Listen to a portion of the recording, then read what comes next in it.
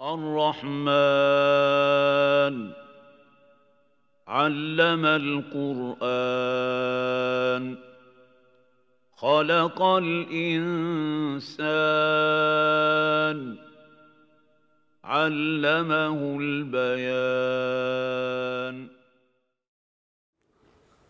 Yeah, know, Surah Al-Rahman is one of the important surah of the Quran. And like Mawla Farahim mentioned it among the surah which is Rahmaniyya. You know, meaning is that Allah subhanahu wa ta'ala in certain surah, He mentions His name, His attribute as Ar-Rahman, which actually makes very clear that His Rahmah is more apparent in that surah, is mercy.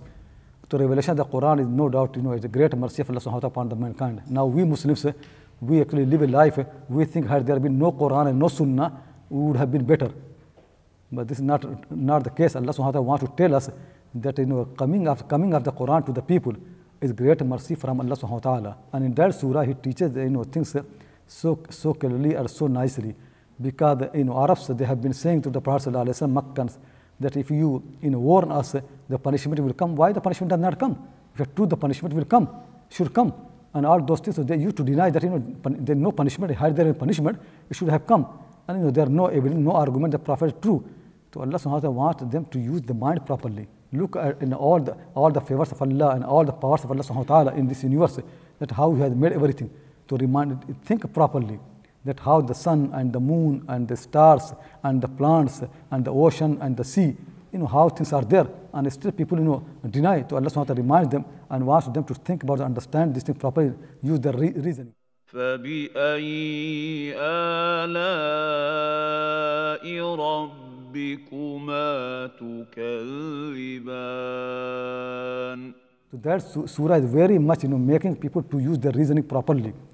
And the people use their reason- reasoning properly, and that makes them to fear Allah subhanahu wa ta'ala. Thereafter, then Quran says, وَلِمَنْ خَافَ مَقَامَ رَبِّهِ جَنَّتان. Those people who fear their Lord, for them there are two paradises. So, you know, two paradises in the reward for the fear of Allah subhanahu wa ta'ala in this world, understanding it properly and thinking. And then after that, Al Quran says uh, that وَمِن دُونِهِمَا جَنَّتان. And other than them, two more paradises. So Allah subhanahu wa ta'ala has made for the people, you know, four different types of the paradise as a reward.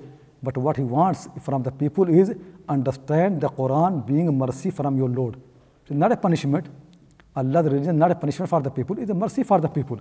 And try to understand that mercy, that rahmah uh, uh, uh, Uh, uh, uh, of the Quran.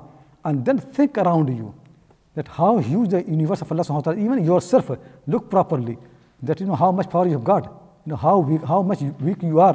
So he wants us to use our mind and thinking properly and look all this all, all the things around in, in, the universe and then make effort to understand you know the rububiyyah and that how Allah subhanahu wa ta'ala takes care of the people and his rahmah and mercy you know properly.